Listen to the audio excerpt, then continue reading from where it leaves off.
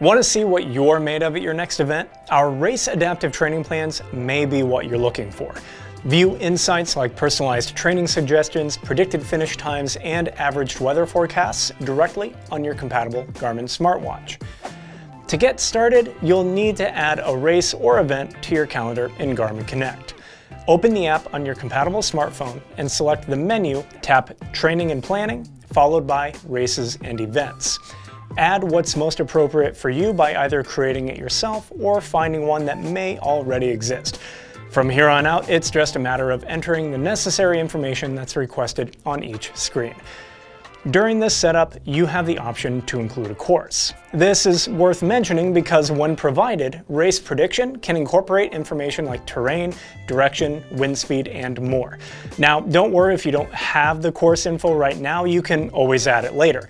As you begin to wrap this up, you'll have a chance to review all the data and officially add the event to your calendar.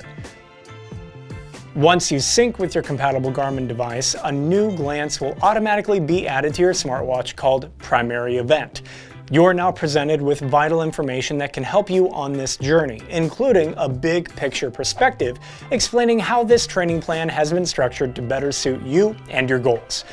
As you make progress, the plan will regularly update.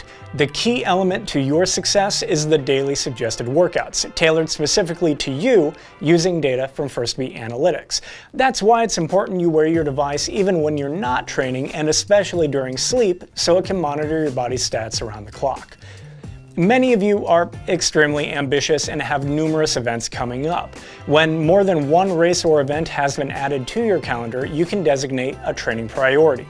Regardless of where it falls on your calendar, your training suggestions will be based on that primary event. View your supporting events by adding the race calendar to your glances. And if the need should arise, you can edit the priority to receive suggested workouts for that new assignment. We hope this video inspires you to try out our race training features. And if it does, we'd love for you to share your accomplishments in the comments below.